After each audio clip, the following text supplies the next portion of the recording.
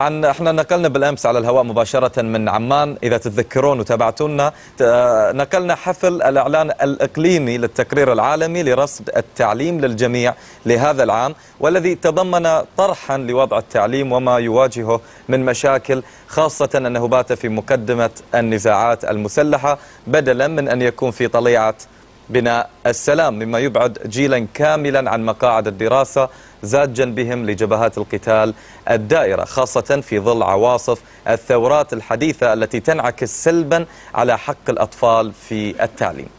زميلنا مشاهدينا عماد العضايلة تابع الإعلان أمس وقام بمقابلة مع شخصية قيادية ومؤثرة وفريدة من نوعها هي الملكة رانيا العبد الله راعية الحفل لإطلاعنا أكثر على وضع التعليم العربي وتجربة الأردن بهذا المضمار خاصة وأنه يعد من الدول الرائدة في التعليم. إلى التقرير.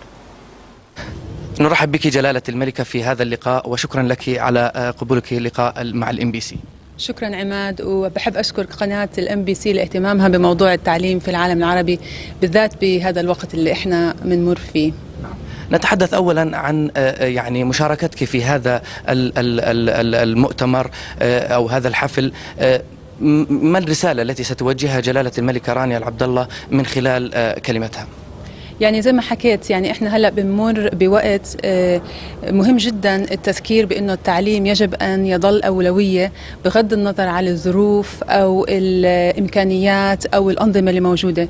يعني زي ما أنت شايف وطننا العربي عم بمر بظروف ومتغيرات سريعة سواء على المستوى السياسي أو الشعبي أو القيادي.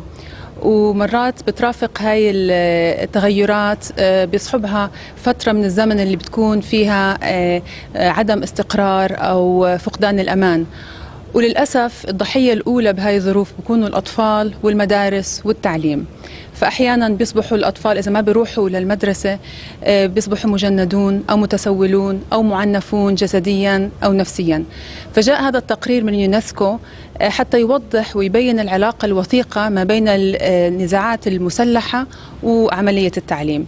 ف يعني يجب أن يكون في تضافر للجهود بيننا كلنا حتى نتأكد أنه العملية التعليمية تضلها مستمرة والتعليم لا يفقد أولويته بغض النظر على على الظروف، يعني إحنا اليوم بوطننا العربي في 6 ملايين طفل خارج خارج الصفوف المدرسية بالمرحلة الابتدائية، نصفهم في العراق والسودان واليمن وهي مناطق نزاع. ويمكن إنه يكون الأرقام زادت خلال الفترة الماضية.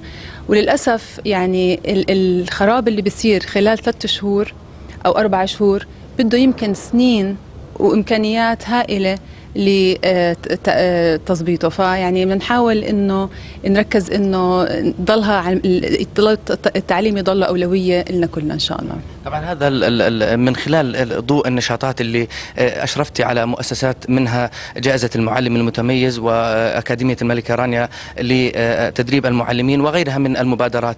أين ترى جلالة الملكة الأردن في هذا المضمار؟ يعني بحمد الله الأردن بينعم بالأمن والاستقرار وهي نعمة من الله يعني. وإلها أثر كتير كبير على البيئة التعليمية. وإحنا بالأردن تقريبا حققنا تعميم التعليم الابتدائي.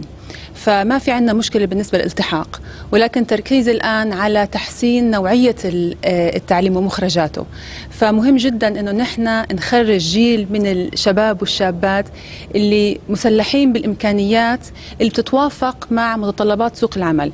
يعني إحنا بنعرف إنه بالعالم العربي نسبة البطالة بين الشباب توصل 25% يعني ربع الشباب العربي ما بيشتغل. فإحنا لما بنشوف إنه في نوع من الحزن أو اليأس أو الاحتقان بالشارع العربي فهذا ما مش مش مفاجأة. يعني إذا الشخص مش قادر إنه يكون مستقبله ويبني عائلة ويطمح لمستقبل مشرق فهذا وضع سلبي جدا. فيعني التركيز لازم الحقيقة يكون على المخرجات والنوعية. مش إنه التعليم مش إنه نعطي الطالب كمية كبيرة من المعلومات حتى يحفظها. لا التعليم هو إنه آه نعطيه الأساليب والإمكانية إنه يتعلم من كل ما حوله. فالتعليم هي آه عملية مستمرة مستمرة مدى الحياة. آه يتسلح بالقدرة على التحليل السؤال التفكير الخلاق. هاي الأشياء اللي إحنا بدنا ننميها بين طلابنا إن شاء الله.